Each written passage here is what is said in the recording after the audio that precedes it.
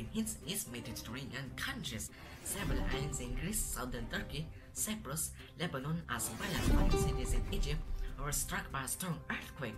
According to the United States Geological Survey, it had a magnitude of 6 and depth of 37.8 kilometers. So far, no casualties have been reported.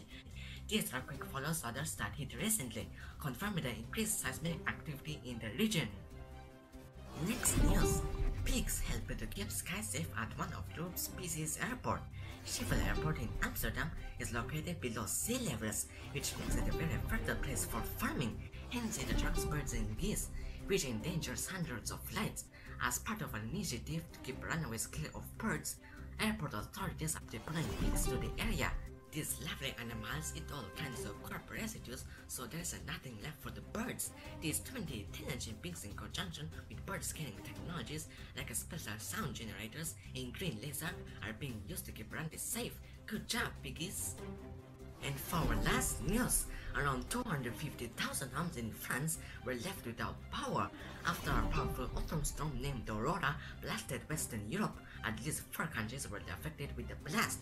France, Germany, the Netherlands, and Belgium.